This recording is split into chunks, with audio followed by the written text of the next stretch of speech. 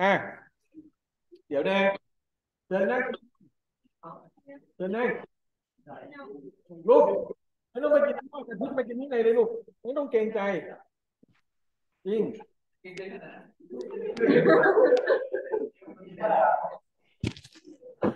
เฮ้ยอาจารย์อาจารย์สอนหนังสืออาจารย์เข้าใจนักศึกษาลูกอาจารย์เองก็กินเหมือนกันไปเน่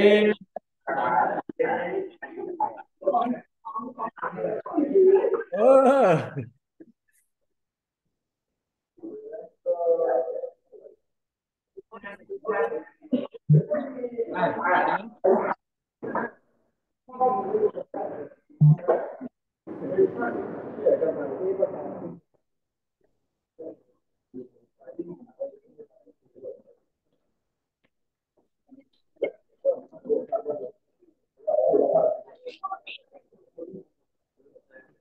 อะขออนุญาตต่อเลย ที่เราเรียนมานะครับ ฟังฟังเออ เช็คชื่อเขียนแทนเพื่อนน่ยเดี๋ยวไม่มาเนี่ยเช็คขาดติดเอฟแล้วเว้ย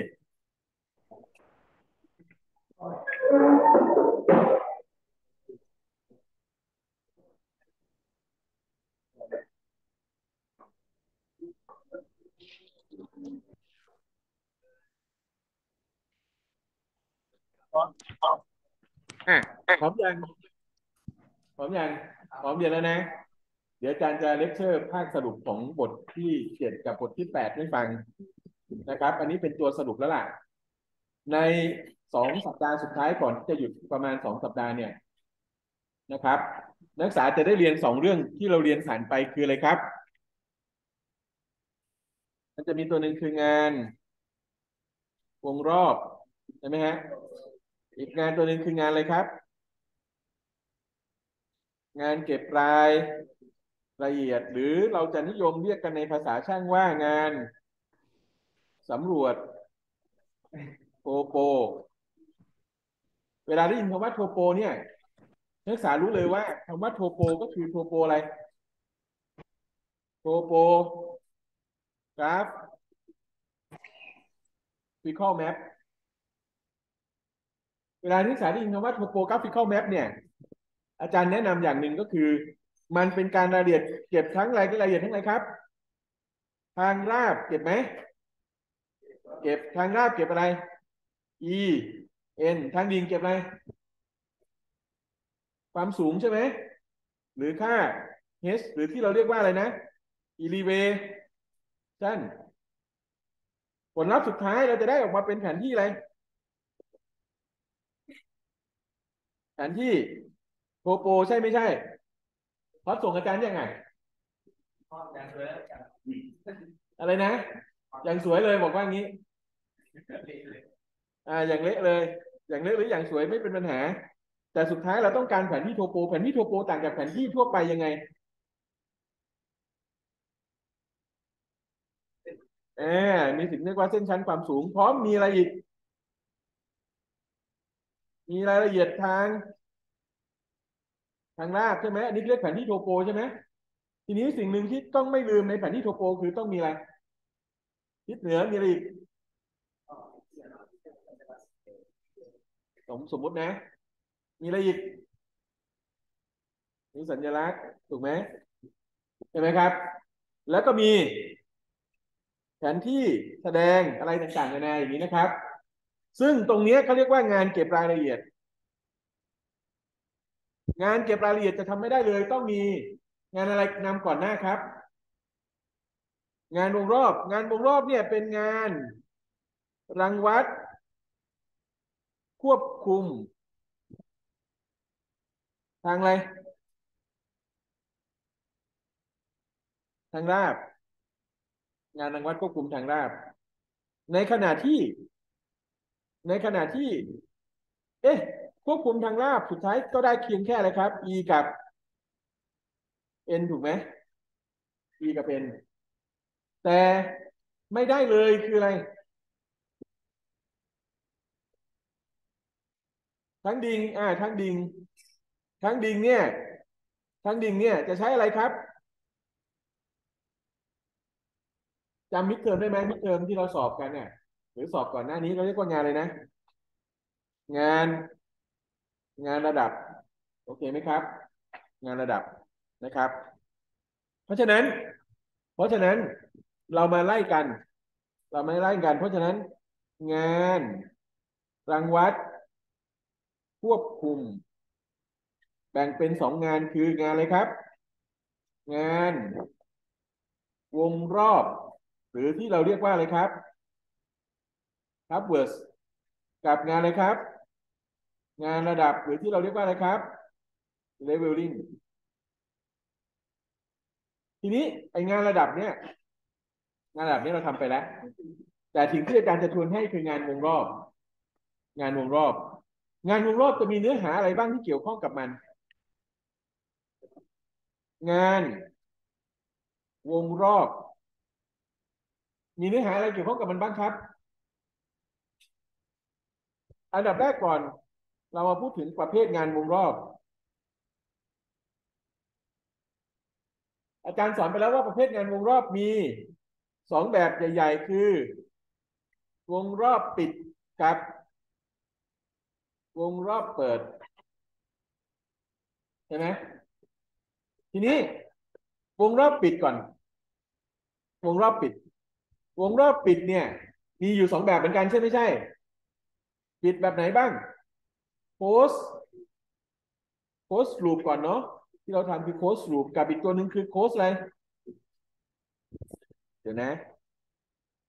พอดีผมได้ประกามาใหม่ มันไม่เป็นไปตามใจเท่าไหร่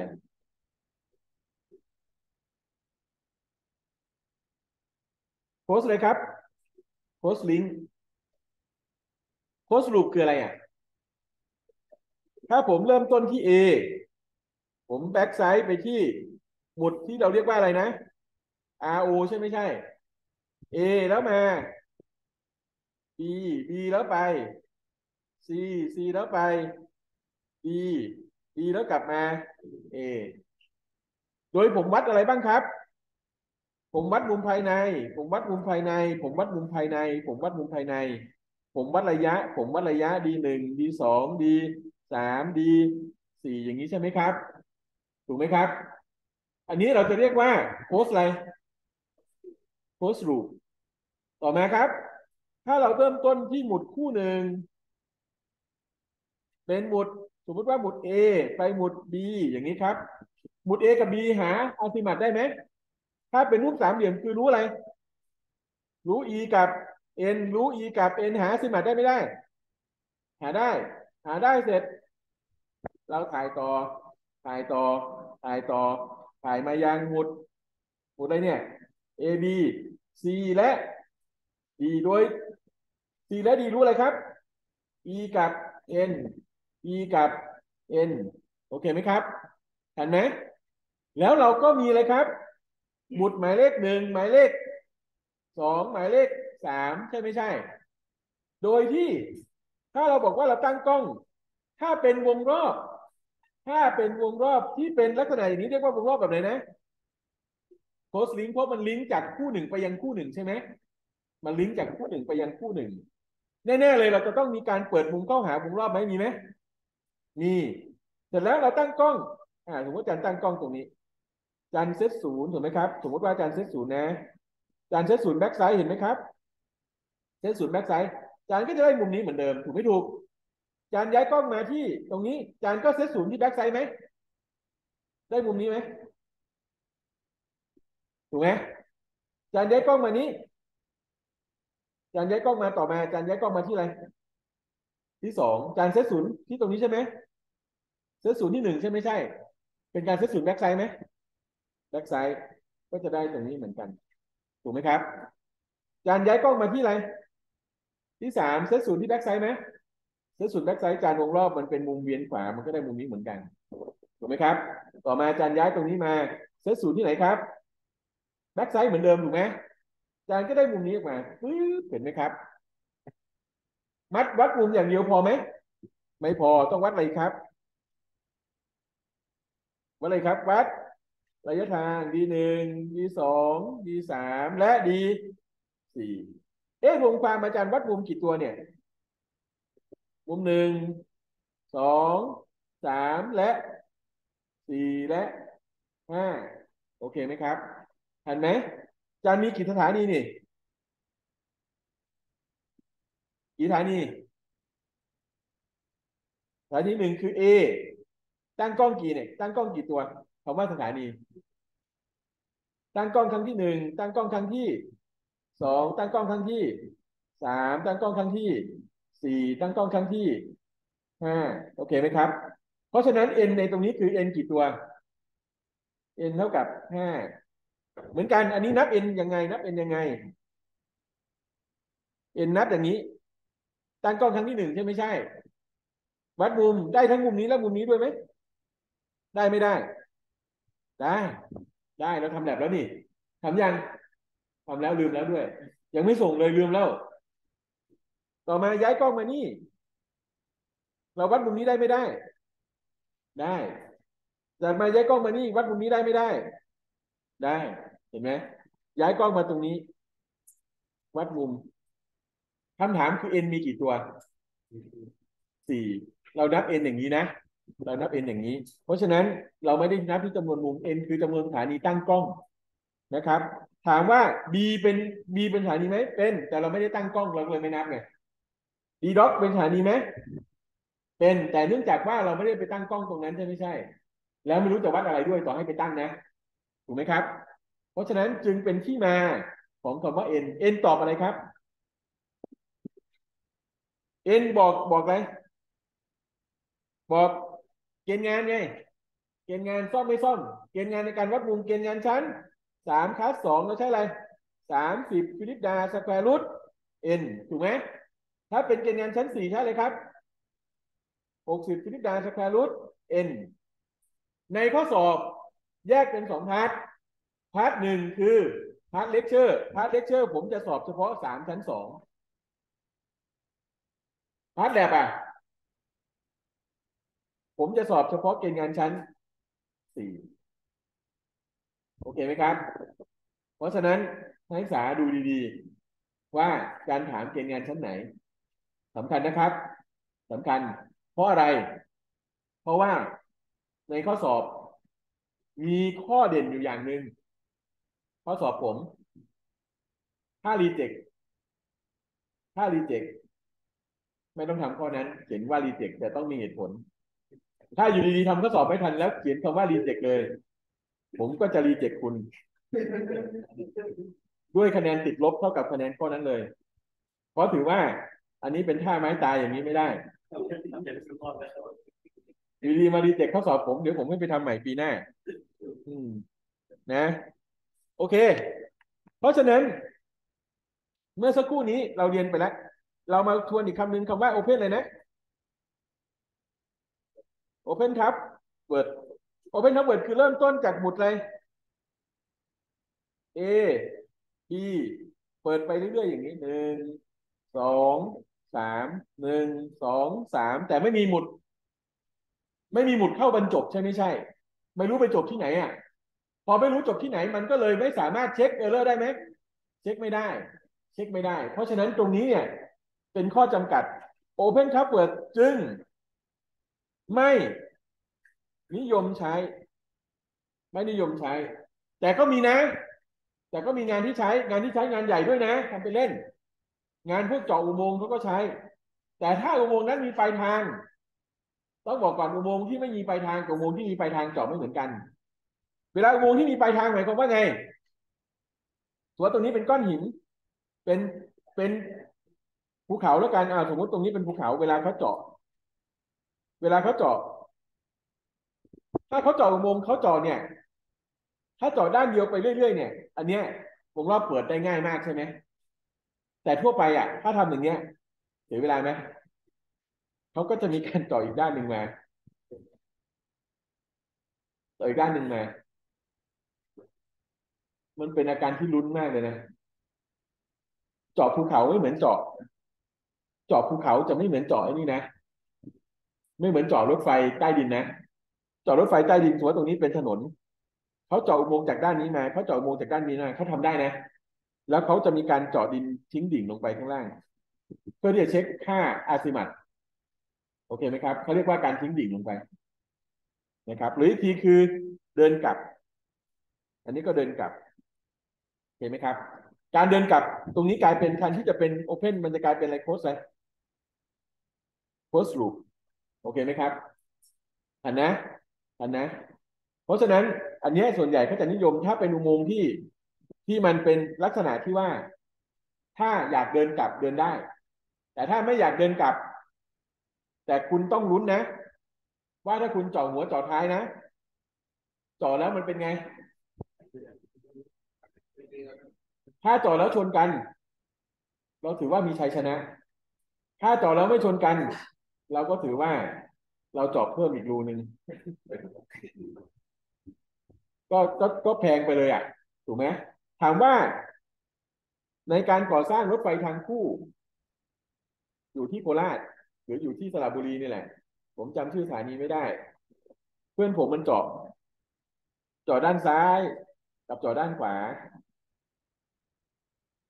เจาะมาแล้ว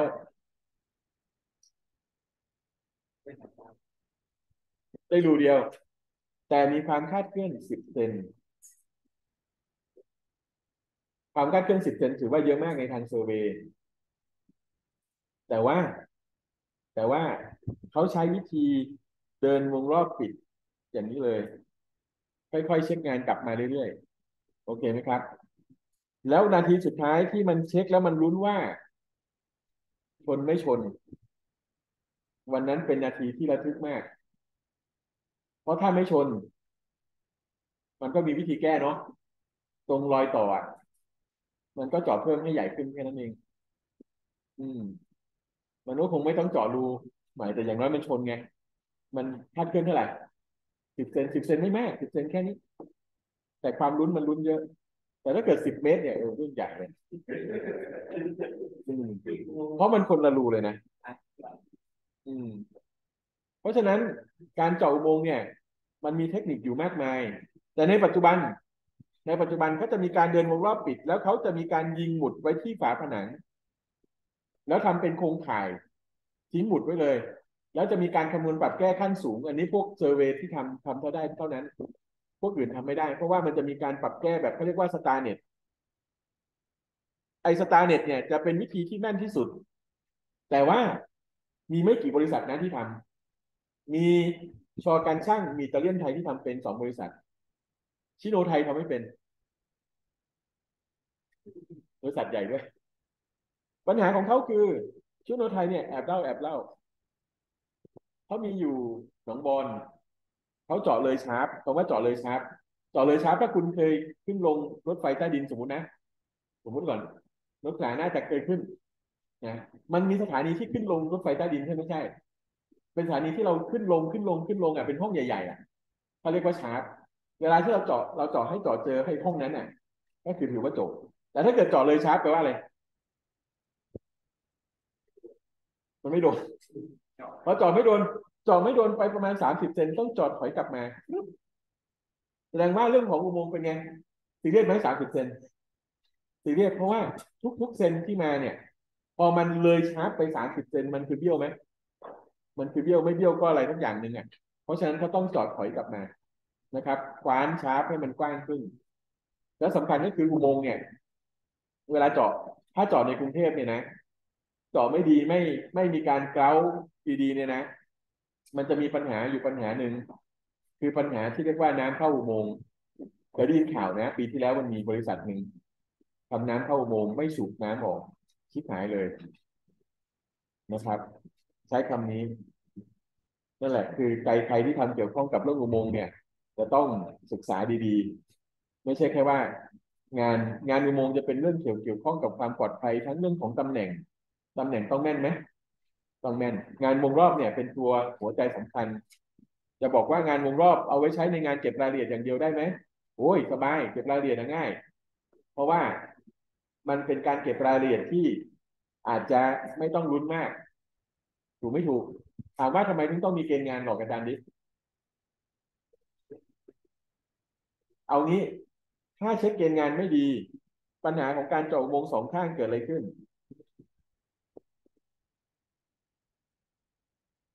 เพิ่มเพิ่มรูให้เขาให้หลวงตัวหลวงไม่มีความสุข กับระหว่างจอดมาแล้วชนกันถูกไม่ถูก กับจอดไม่ชนกันเป็นไง เออ เหมือนกัน เวลาเขาสร้างสะพานข้ามน้ำโขงอะเขาสร้างไงลูก เขารอจากฝั่งไทยข้ามไปฝั่งลาวหรือสร้างจากฝั่งลาวกับฝั่งไทยมาชนกันตรงกลาง เออ สร้างมาชนกันแล้วมันเกิดอะไรขึ้น ถ้ามันชนกันดีไหมถ้ามันไม่ชนกันเนี่ยอ๋อรถไฟมันเลี้ยวได้ รถมันรถมันรถมันเลี้ยวได้ใช่ไหมก็ทำทางโค้งกลางกันแสดงว่าเรื่องตำแหน่งสำคัญไหมสำคัญ แล้วเรื่องระดับอะ เรื่องระดับยิ่งสำคัญ ระดับข้ามลำน้ำสำคัญมากในการสร้างสะพานลองดูภาพดูสะพานฝั่งไทยกับฝั่งลาวถ้าความคาดเคลื่อนอยู่ระดับแค่เท่าไหร่สิบเซนอย่างมากคุณทำสโลปได้ไหมแต่ถ้าเกิดสะพานมันคาดเคลื่อนประมาณเมตรหนึ่งเนี่ยคุณต้องปรับแบบเลยนะเป็นรถไฟหอกหยอกหยอกจริง ๆ ส่วนใหญ่มันมีวิธีแก้นั่นแหละนะครับ มันมีโทริเลนซ์ของมัน แต่ว่า ทั่วไปแล้วเราจะไม่นิยมทำแบบนั้นเนาะเราจะนิยมทำให้งานเป็นไง งานงานมันสมบูรณ์แบบถูกไหมครับ เพราะฉะนั้นเกณฑ์งานสำคัญไหมสำคัญนี่คือทำไมถึงต้องมีเกณฑ์งาน การที่มีเกณฑ์งานไม่ได้มี ไม่ได้มีความหมายมากไปกว่าการที่ทำให้งานก่อสร้างเป็นไงครับ คุณกล้าใช้แผนที่นั้นหรือเปล่า ถูกไหมครับ คุณกล้าใช้ข้อมูลนั้นหรือเปล่า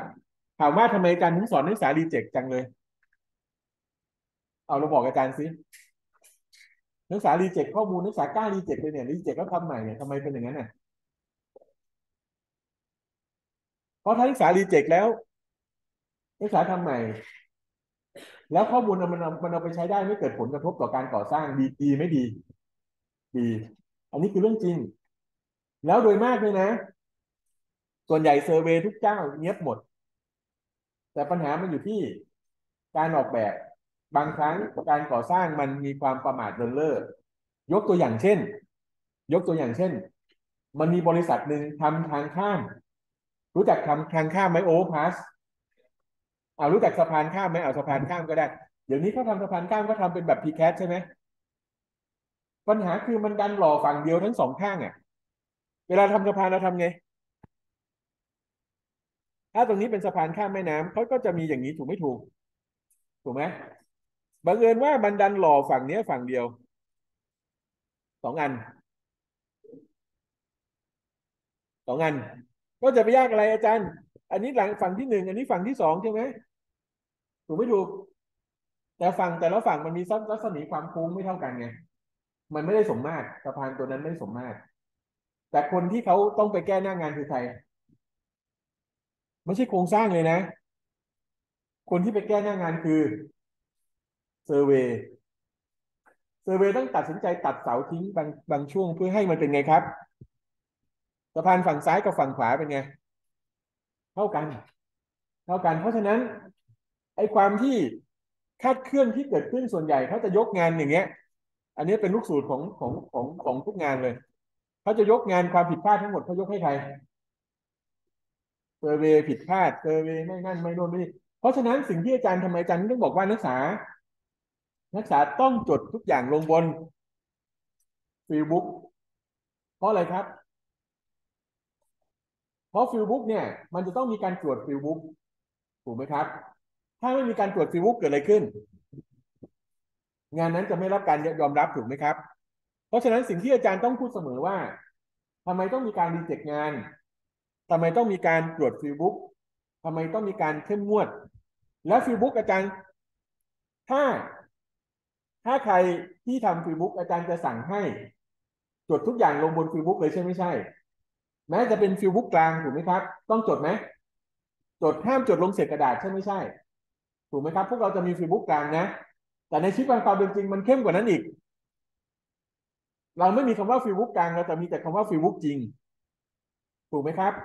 ทำไมอาจารย์ถึงบอกว่าถ้าไม่จำเป็นอย่าใช้อะไรนะ อย่าใช้ น้ำยาลบคำผิดหรือแถบลบคำผิดให้ขีดค่า ต่อให้ฟิลบุ๊กของคุณ จะเละเทะแค่ไหน คุณก็ขีดค่า โอเคไหมครับ เดี๋ยวแป๊บนึงนะรักษาทีพี่นัทนันครับ พอดีผมสอนหนังสืออยู่ครับผม เดี๋ยวประมาณสักสิบโมงครึ่งผมโทรกลับได้ไหมครับ ได้ครับ ได้ครับได้ครับขอบคุณครับครับคราวนี้ คราวนี้สิ่งต่อมาที่อาจารย์จะพูดก็คือว่า สิ่งต่อมาที่อาจารย์จะพูดก็คือว่า การเก็บรักษา field book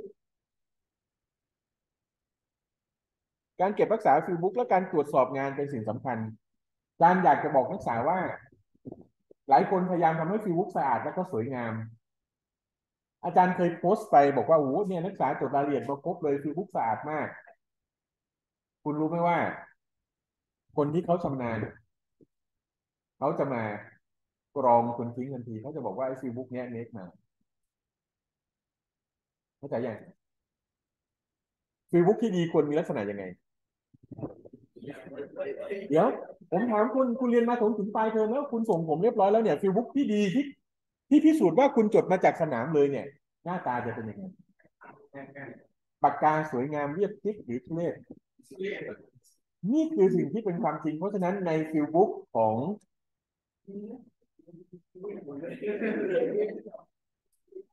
เดี๋ยวนะ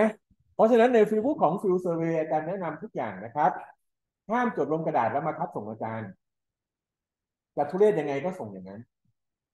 เข้าใจไหมครับ อันนี้อาจารย์ครูคืนไว้ให้นะเพราะเดี๋ยวอาจารย์จะทำโครงการ field survey แล้วล่ะ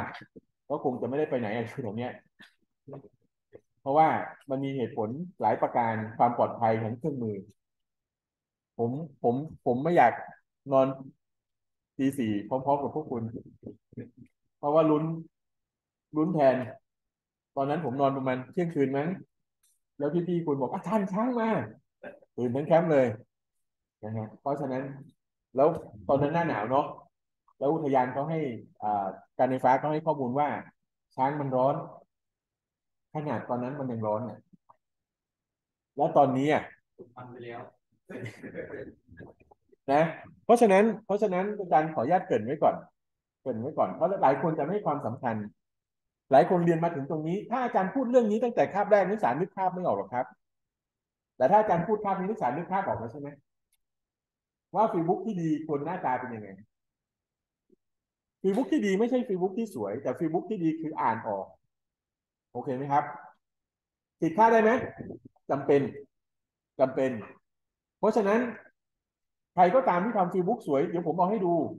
พอผมส่งไปเสร็จปั๊บอาจารย์ผมผมสองสามคนออกมาบอกเลย เฮ้ยตอนนี้ได้ยังไง ผมบอกไม่ได้อาจารย์ผมสอนตามนี้แหละแต่สิ่งที่ต้องบอกก็คือบอกในชั้นเรียนว่า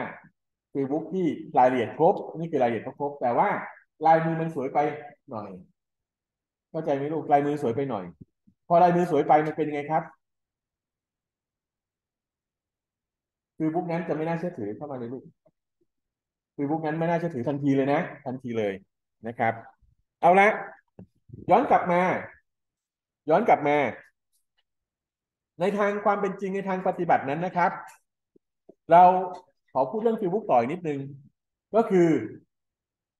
เราจะไม่นิยมให้นักศึกษาซีล็อกแล้วมาลอกใส่หนังสือจริง ๆ ในทางปฏิบัตินะ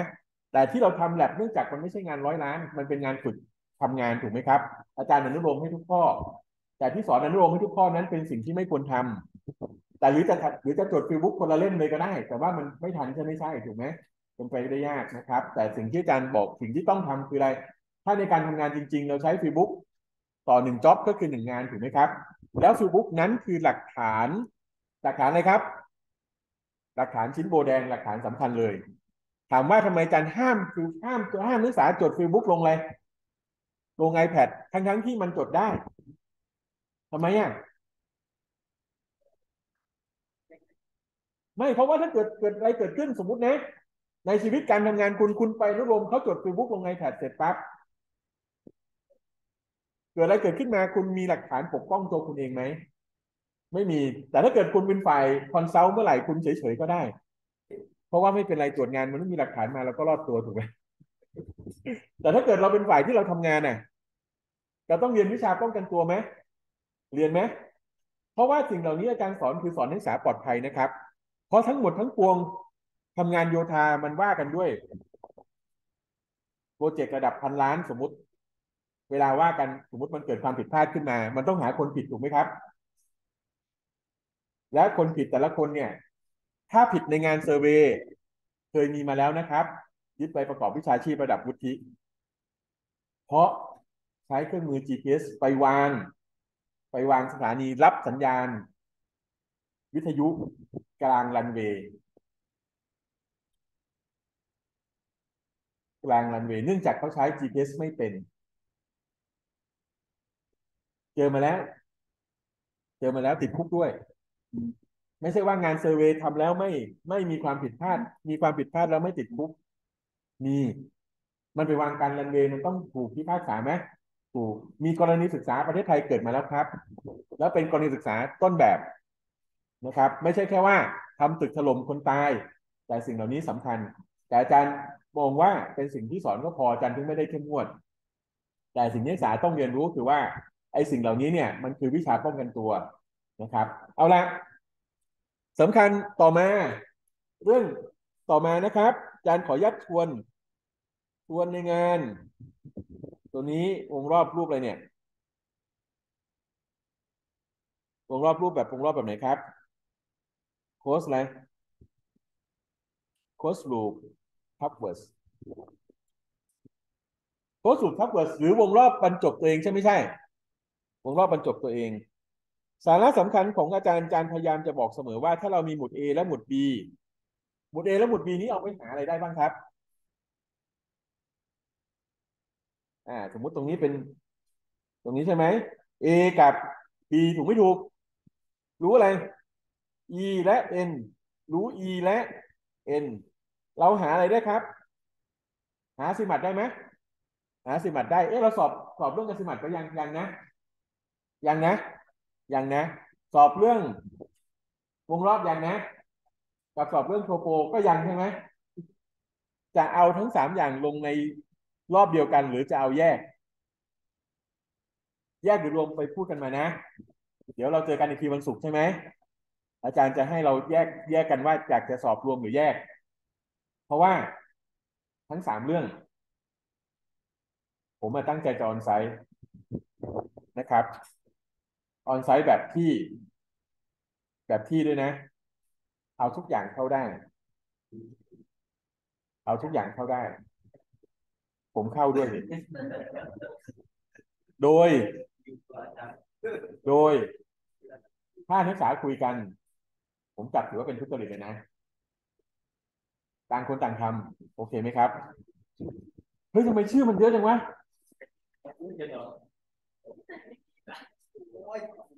อ่าแบบแบบแบบ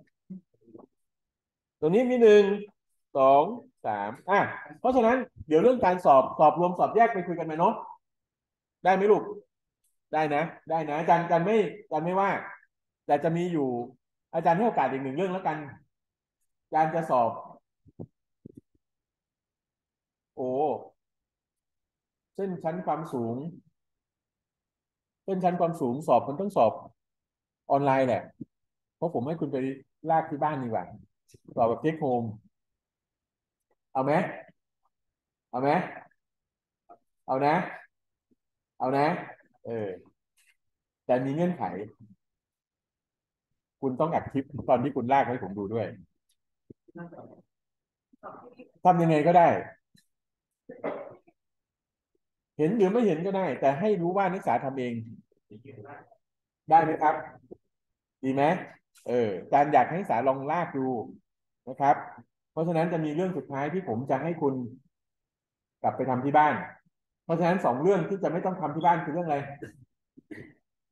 เรื่องนี้ครับ เรื่องที่จะต้องสอบตรงนี้ก็คือเรื่องอะไรครับอัติมัตและงานวงรอบ แต่ผมมีข้อสอบออนไลน์พร้อมนะนักศึกษาอยากสอบอยากสอบออนไลน์แล้วมีความรู้สึกวันจริง ๆ ผมจัดให้ แต่มันจะถูกบีบด้วยเวลา โอเคไหมครับลูก และรับประกันความฮาได้เลยว่าข้อสอบแต่ละข้อเนี่ย ผมทำใช้เวลาพอดี โอเคไหมครับ แล้วข้อสอบสอบในชั้นนี้นะ นักศึกษาเอาทุกอย่างเข้าได้หมด นักศึกษาอยากใช้ iPad ทำก็ได้ไม่ว่านะครับ แต่ต้องเขียนลงบนกระดาษให้ผมดูนะครับ โอเคนะครับ เสร็จแล้วอะย้อนกลับมา อันนี้วงรอบมีลักษณะการเดินหมุดแบบไหนครับ ทวนเข็มแล้วเซตศูนย์ที่ set zero ที่ backsight ถูกไหมถูกไหมครับ จะทำให้มุมที่วัดได้เป็นมุมอะไร มุมภายใน แต่ถ้าทำกลับจากนี้มุมที่วัดได้จะเป็นมุมภายในหรือมุมภายนอก มุมภายนอก และสิ่งที่อาจารย์สอนนะครับ สิ่งที่อาจารย์สอนต่อไปนี้คืออาจารย์สอนนักศึกษาเรียนรู้ค่าคาดเคลื่อนก่อน ค่าคาดเคลื่อนของมุมเราจะมุดสมมติมีมุมอะไรเนี่ย a บวกหนึ่งบวกสองบวกสามต้องได้เท่าไหร่สามร้อยหกสิบเกิดจากอะไร n ลบสองคูณร้อยแปดสิบถูกไหมครับ ถูกไหมครับ อันนี้เป็นแบบไหน closed loop คราวนี้ผมมาสอนเรื่องสำคัญวันนี้ไฮไลท์เลยนะ แล้ว closed link เนี่ย closed link มี A มีอะไรอีก B มีอะไรครับ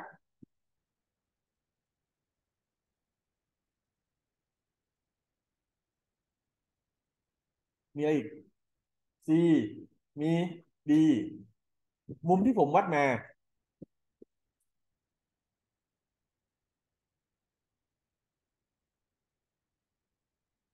มุมอัลฟาหนึ่ง อัลฟาสองอัลฟาสามอัลฟาสี่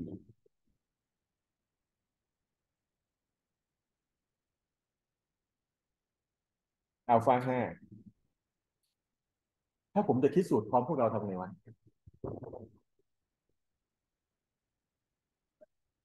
อันดับแรกก่อนผมต้องรู้อะไร รู้อะไรลูก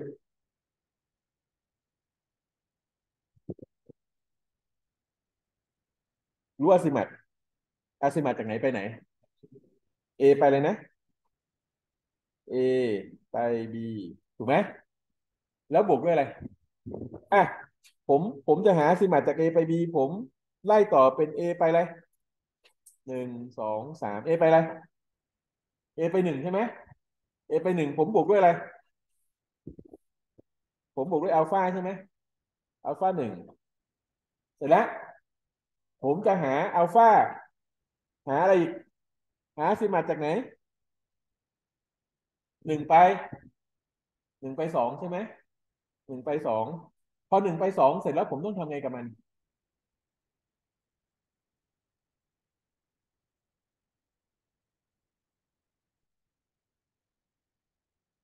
อ้าวลองลองลองช่วยกันสิ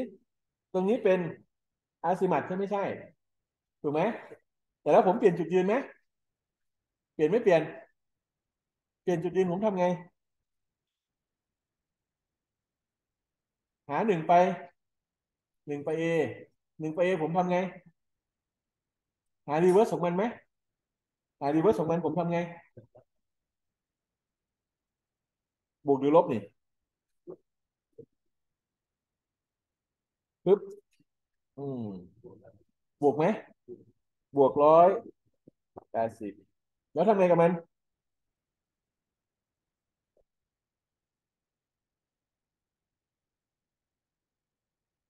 A ไปไหน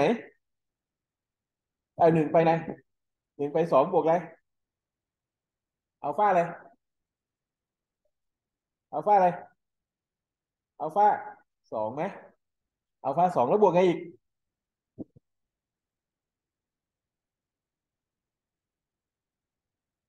วกหรือลบ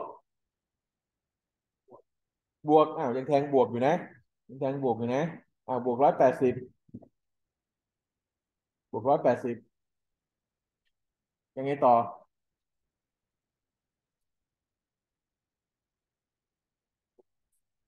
บวกอ่าบวกอัลฟาสามบวกอัลฟาสามเฮ้ย ถ้าทำอย่างนี้มันแห้งๆทำอย่างนี้มันแห้งๆ อ่า มันต้องมาดูข้อสอบเก่าดีกว่า อยากดูข้อสอบไหมอยากไหมอยากนะ แล้วอยากลองทำไหมทำเลยทำเลยเพราะว่านี่ข้อสอบ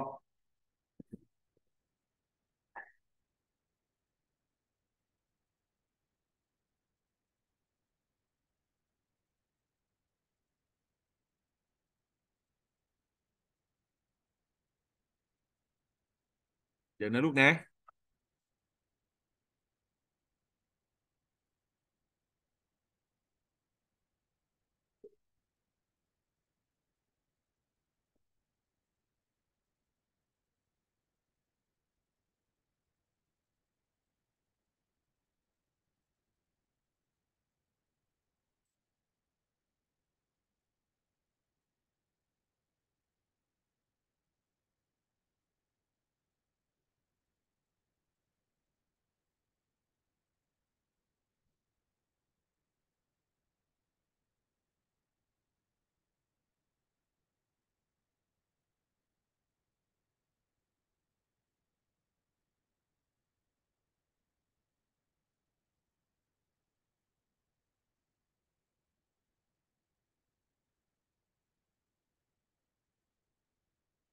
เดี๋ยวจารย์ดูก่อนจารย์เก็บไปไหน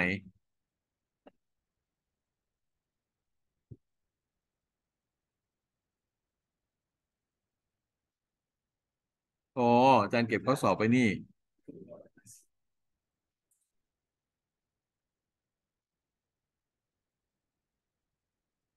อ่า อันนี้เป็นข้อยอดนิยม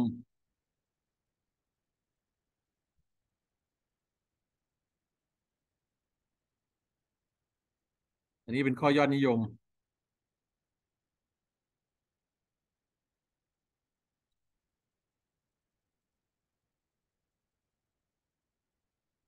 อุ้ย ปีนั้นออกง่าย แป๊บหนึ่ง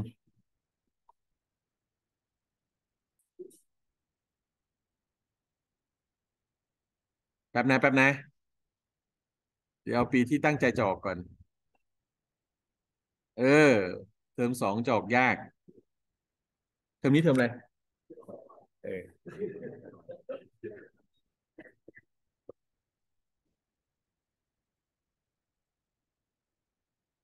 โอเค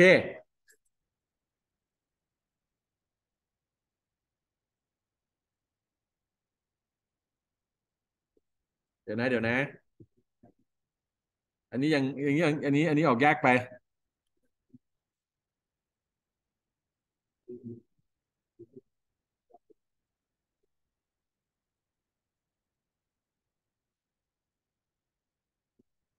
อ่า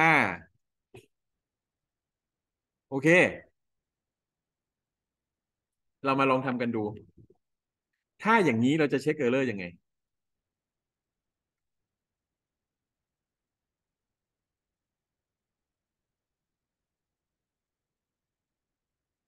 หยิบกระดาษขึ้นมานะครับ แล้วลองทำเลย ใครที่ส่งไม่ทันก็ส่งส่งย้อนหลังได้จันไม่ว่านะครับ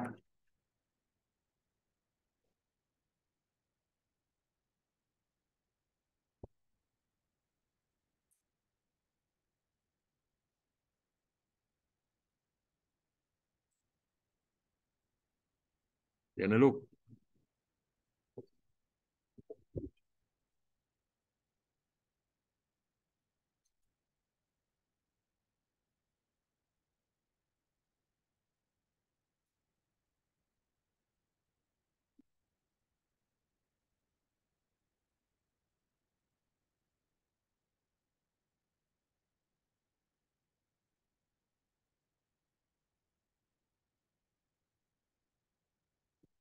ห็นโจทย์ไหม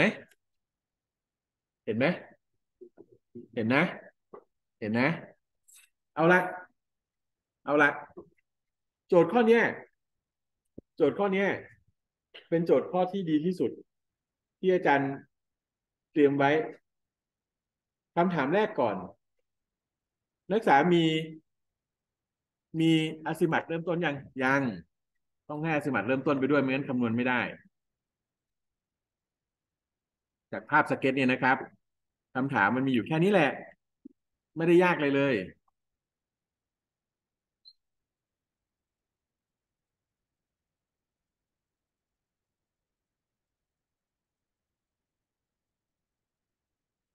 ในภาพนี้เขาบอกว่าอาซิมัตเริ่มต้นจาก A ไป A ไปไหนครับอาซิมัตเริ่มต้น หมุดที่หนึ่งไปเลย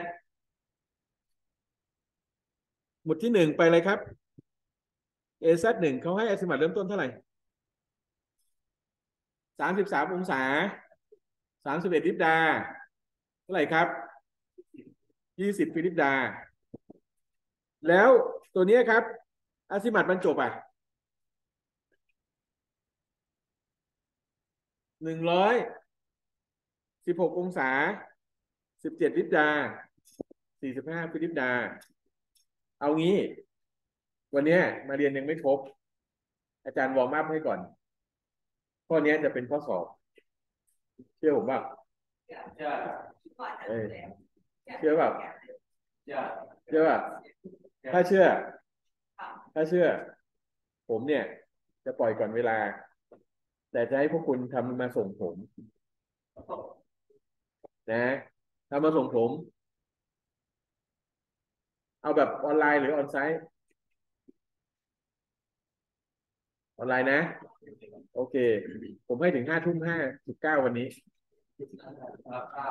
โอเค ว่าว่าไงลูก เอารูปชัดๆไหมเอารูปชัดๆนะ เดี๋ยวผมอัพขึ้นไปเลย โอเคไหมครับ เดี๋ยวผมอัพโจทย์ให้ อัพสไลด์วันนี้ให้ด้วย เออ ทีนี้ ทีนี้เอาผมไกด์ให้ก่อน สิ่งแรกที่ต้องทำคืออะไร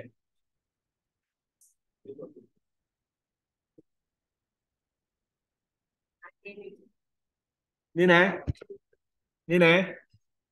อาจารย์อาจารย์อยากรู้แค่ว่านักศึกษาจะรู้ว่าวิธีการปรับแก้แบบไหน เดี๋ยวอาจารย์มาหลังอาจารย์จะสอนต่อ สิ่งแรกที่นักศึกษาต้องรู้ก่อนว่า error มันเท่าไหร่ใช่ไม่ใช่ error เท่าไหร่ใช่ไหม error เท่าไหร่สมมติว่าเออร์เลอร์เกิดมาเท่าไหร่เสร็จแล้วทำไง คำนวณมุมปรับแก้แก้มุมก่อนใช่ไหมแล้วก็คำนวณอซิมาตอีกรอบหนึ่งใช่ไม่ใช่ ถูกไม่ถูก อ่า แต่มันมีวิธีรัดแต่วิธีรัดจะสอนวันพุธไอ้วันศุกร์ใช่ไหมวันนี้วันพุธใช่ไหมลูกวิธีรัดผมจะสอนวันศุกร์แต่ผมจะให้คุณคำนวณวิธีตรงๆก่อน โอเคไหมครับเพราะถ้าคำนวณตรงๆเพราะว่าผมเชื่อว่านักศึกษาตอนเนี้ยตอนเนี้ย เมื่อกี้ผมทดสอบแล้วคำนวณอซิมัตต่อหน้าต่อตาผมเนี่ย บางคนจำได้ บางคนจำไม่ได้ เข้าใจความหมายไหมลูก เลยขออนุญาตนักศึกษาคำนวณแบบพื้นๆก่อน เราเริ่มต้นพื้นๆก่อนสิ การคิดเออร์เลอร์ของมันเนี่ยต้องไล่ก่อน ไล่อซิมัตจากไหนไปไหนก่อนหนึ่งไปเอซ่าสองใช่ไหม แล้วจากหนึ่งเอซ่าสองไปอซิมัตไปไหนหนึ่งไปหนึ่งไปสองไหมหนึ่งไปสองอาซิมัตหนึ่งไปสองแล้วไล่ต่ออาซิมัต หนึ่งไปสองแล้วหาอะไร หาสองไป สองไปหนึ่ง สองไปหนึ่งแล้วหาหาอะไรหาอะไรต่อ สองไป สาม สามไป ต่อมาหาอะไรอีก สามไป สองใช่ไหม หาอะไรต่ออีก สามไป สี่หาอะไรต่ออีก สี่ไป สาม แล้วต่อไปอะไรอีก สี่ไปห้าต่อไปครับห้าไปห้าไปห้าห้าไปสี่ไหมห้าไปสี่ไหมห้าไปห้าไปสี่จากห้าไปสี่แล้วห้าไปอีก แล้วก็ห้าไปห้าไป S สองอ่านักศึกษาไปชวนมาตรงนี้ได้ไหมลูก S สองเสร็จ ถ้า S สองมันเท่ากันกับตัวตัว azimuth บรรจบเลย error เป็นศูนย์ไม่ใช่ไม่มี error นะ error เป็นศูนย์แต่ถ้าไม่ใช่ มี error ไหมมีแล้วให้หามาด้วยว่า error เป็นบวกหรือเป็นลบ โอเคไหมครับทำเฉพาะข้อหนึ่งมาก่อน ถ้าใครทำข้อสองได้ ข้อสองมันมีวิธีการอยู่เหมือนกัน วิธีการคำนวณปรับแก้มีอยู่เหมือนกันนะ แต่อาจารย์ให้ทำเฉพาะข้อหนึ่งก่อน โอเคไหมครับทำได้ไหมทำได้นะ แล้วเดี๋ยวคาบหน้าวันศุกร์จะพาทำแบบแป๊บเดียวเสร็จ โอเคไหมครับ มันจะมีวิธีคิดอยู่ข้อหนึ่งแล้วให้นับมาด้วยนะ การบ้านชุดนี้มันจะเป็นที่มาของสูตร ให้นับมาด้วยนะ ว่ามีการลบร้อยแปดสิบหรือบวกร้อยแปดสิบทั้งหมดกี่ครั้ง เออ มันจะมีการลบร้อยแปดสิบทั้งหมดกี่ครั้งอ่าสมมติตรงนี้ลบร้อยแปดสิบหนึ่งครั้งใช่ไหมลบร้อยแปดสิบกี่ครั้งสองครั้ง ลบร้อยแปดสิบกี่ครั้งสามครั้ง ลบร้อยแปดสิบกี่ครั้งสี่ครั้ง มันจะเป็นที่มาของสูตรลองนับดูนะ ลองนับดูนะ โอเคไหมครับ ตัวนี้หนังสือตัวเนี้ยผมไม่เขียนไว้แล้วหนังสือตรงเนี้ย ผมให้นักศึกษาเฉพาะตอนที่นักศึกษา สูตรตัวเนี้ยจะให้เฉพาะนักศึกษาที่ทำการบ้านมาและเข้าเรียน เอาเวลาอาจารย์ทัชชัยเขียนหนังสือเขาบอกว่าอาจารย์ทัชชัยเป็นนักวางยาเบอร์หนึ่ง ถ้าไม่เรียนหนังสือ ฟังอาจารย์นะ ถ้าไม่เรียนหนังสือจะมีจุดที่ผิดอยู่ในสไลด์ผมเพียบเลยแค่ตำราผมไปใช้มีการฆ่าตัวตายได้เลยโอเคไหมครับ ยกเว้นตำราที่ผมขาย ถ้าขายทำไม โอ้โหขายนี่คุณโดนเขาด่าเลยแต่ว่าถ้าเป็นอะไรที่แจกเนี่ย ไม่ต้องกลัวหรอก แจกเนี่ย ผมตั้งใจนักศึกษาต้องเข้าเรียนไม่ได้แจกเพื่อวางยาชาวบ้านเขานะเพื่อนักศึกษาต้องเข้าเรียนเรียนเพื่ออะไร เรียนเพื่อรู้ว่าอ๋อตรงนี้มันผิด แก้ให้ถูก แต่ถ้าเกิดคนที่ไม่เข้าเรียนเกิดอะไรขึ้น วางยาเต็มๆนะ บอกไว้ก่อนนะครับ แต่ว่าไอเนี้ยไม่มีเนื้อหาตรงเนี้ย จะพูดในคาบหน้า และจะเป็นคาบที่พูดขึ้นสไลด์เท่านั้นนะครับเอ๊ะคาบหน้าเราเรียนออนไลน์ หรือออนไซต์หรือออนหรือไฮบิดไฮบิดนะเฮ้ย จริง ๆอะคาบหน้าผมอยากให้เรียนon-site แต่ว่าก็สงสารนกมันตื่นเช้าไงบางคนมันยังไม่กินข้าวเลยเนี่ย โอเค เอางั้นเราถือว่า warm warm up กันนะ warm up กันนะ ส่งงานนะ ส่งงานนะ ส่งที่ไหน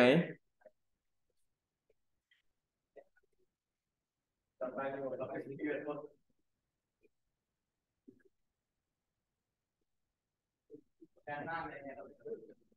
นักแกนหน้าเรียนต่อเรียนในค่าเรียนในค่า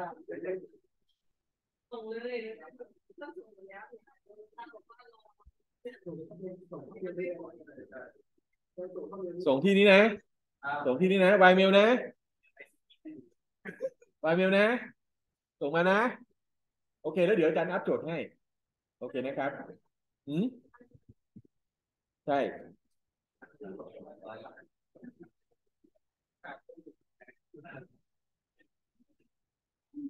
วันที่เท่าไหร่วันนี้เอามันโอเค ส่งนะ ส่งนะ เดี๋ยวผมอัพโจทย์ให้เลยนะ ผมอัพสไลด์ให้เลยนะ โอเคครับ งั้นไม่มีอะไรแล้วแค่เนี้ยสวัสดีครับขอบครับครับผม అది